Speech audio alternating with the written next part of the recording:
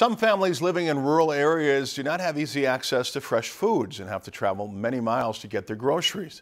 Sprout Foods is trying to change that and bring the grocery store to you.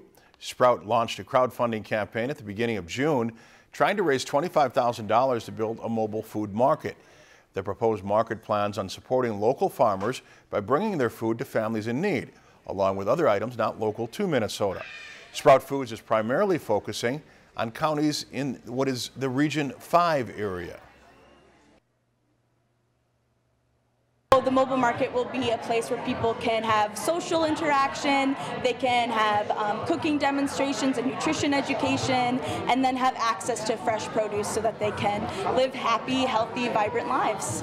Today, Sprout Foods hosted an event in conjunction with Live Better, Live Longer, a community outreach group of St. Gabriel's Health in Little Falls.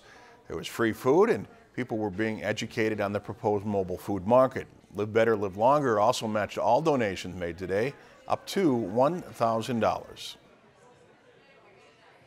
Yeah, you know, transportation is a huge barrier for a lot of the folks that we've been able to touch through the Eat Smart program.